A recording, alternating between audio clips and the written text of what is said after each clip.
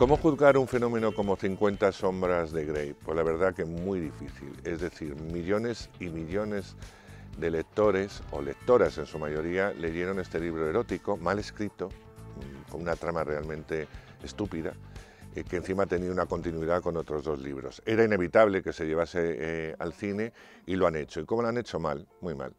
Eh, ¿Por qué? Pues porque el material que había era malo, con lo cual el cine que hay que encima, em, para que vaya un mayor número de público, pues dulcificar el tema, pues lo hace todavía más ridículo. A mí me parece una película ridícula, de principio a final, hecha para y por los lectores eh, o los millones de lectores de, este libro que, tiene fans y eso es verdad y para algún que otro curioso que ha oído hablar de 50 sombras de Grey. Es imposible eh, definir la trama de esta pareja que se conoce accidentalmente, que prueban todo tipo de juegos eróticos y que todo lleva a la nada más absoluta porque evidentemente hay dos libros eh, después y habrá dos películas. Eh, yo creo que una persona con dos dedos, de, frente no debe verla.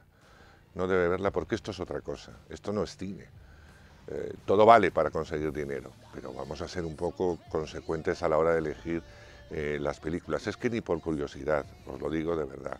Los fans no los voy a convencer, van a ir porque les entusiasmó el libro. Los motivos, pues realmente no los tengo muy claros, pero la película es mala, mala de necesidad mal interpretada, sin ningún tipo de química, malo en todos los sentidos. Me da vergüenza ponerla un cero, pero realmente es lo que se merece. Y como se lo merece, lo digo.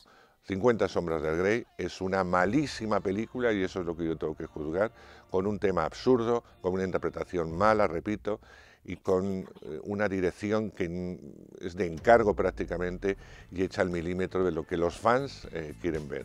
Así que que vayan los fans pero lo que tenemos un mínimo de criterio, de verdad hay otras opciones mucho más interesantes. Así que a pesar de los millones y millones y millones que dé también de dinero, el cero es lo que se merece.